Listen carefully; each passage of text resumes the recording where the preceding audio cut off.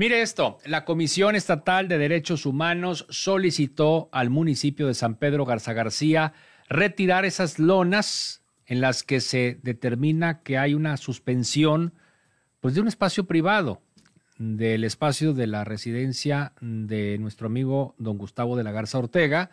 Eh, ¿Qué ha sucedido? Pues que le clausuraron un espacio en donde ocasionalmente don Gustavo recibe invitados y ofrecen ahí conciertos de, música clásica, ¿no? Sobre todo una sala de conciertos que lleva el nombre de las cuatro estaciones, sí, pero es dentro de su casa, es recibir a amigos para escuchar conciertos. Y esto molestó a algún vecino, se promovió por ahí algún recurso, el municipio llegó y clausuró utilizando la fuerza pública, vamos, una situación eh, pues muy desafortunada por parte del municipio de San Pedro que se dio hace algunos meses y que ahora es la Comisión Estatal de Derechos Humanos quien pide al municipio de San Pedro ya retirar estas lonas, ¿sí?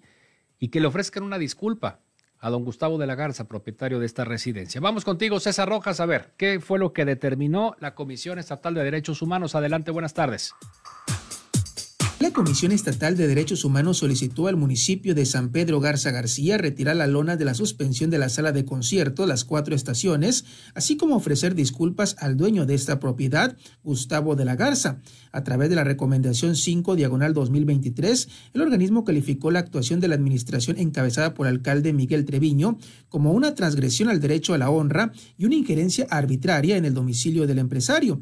Asimismo, solicitó iniciar un proceso de responsabilidad administrativa a los responsables del operativo para colocar los sellos de suspensión. Fue el pasado primero de febrero de este año que la Administración Independiente clausuró la sala de conciertos ubicada dentro de la propiedad en el sector francés de Valle de San Ángel, argumentando que no tiene licencia de uso de suelo para ese giro. Aquel día se realizó un operativo con más de 40 empleados municipales que concluyó con la colocación de lonas a manera de sellos de suspensión en la propiedad. De acuerdo a la recomendación de la CDH, quedó demostrado que el uso de drones en operativo municipal en la propiedad no está previsto en ninguna normatividad, por lo que generó incertidumbre jurídica y zozobra emocional en los habitantes de esta propiedad. También se mencionó que la presencia de 19 elementos policíacos en el operativo resultó excesiva y desproporcionada. César Rojas, Radio Fórmula Monterrey. Bien, muchas gracias. Gracias a mi compañero César Rojas. Bueno, pues ahí está. Hasta ahora es lo que ha resuelto la Comisión Estatal de Derechos Humanos. Veremos si hay alguna respuesta por parte del municipio de San Pedro. Y lo que es un hecho, pues habrá entonces por ahí una, una situación legal, ¿eh?